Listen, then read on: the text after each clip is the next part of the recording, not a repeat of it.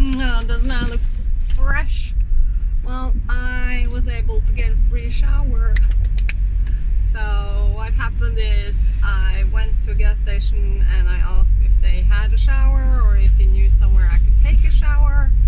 And he tipped me about this uh, place. It's driven by the county or uh, so oh, so they're not as strict as uh, you know private run places. And it's only run on the summer and it's an old school or it's a school ground. So I guess they try to make some extra money by having this place for uh,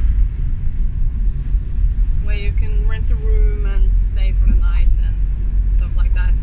Uh, so I just went to the reception and I asked how if I could pay for a shower and he said no it's okay it's slow season you can you can shower for free it's not a problem so yeah I just had a free shower it's really nice it's a quiet season so they don't really um,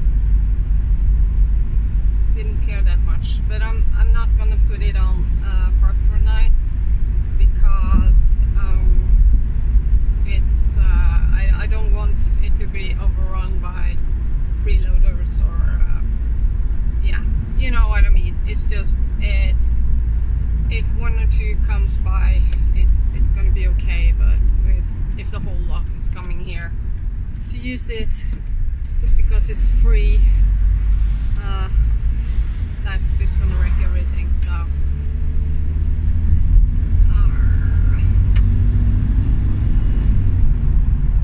so yeah that's but anyway I didn't know how dirty I was until I was in the shower.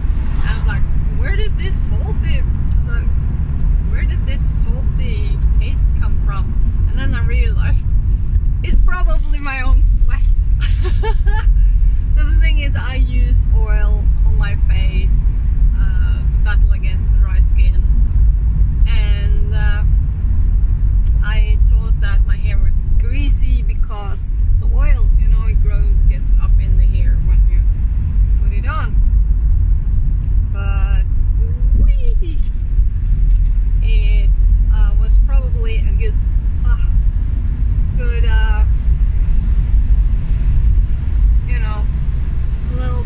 always a little bit of um, everything else. no, oh, I'm sorry, I'm driving and I have to keep an eye out because I didn't put on. I, am not sure where, where I'm supposed to go. Right now I'm just following this truck and it's the main road, but is it going to E6 or is it going the complete opposite direction of where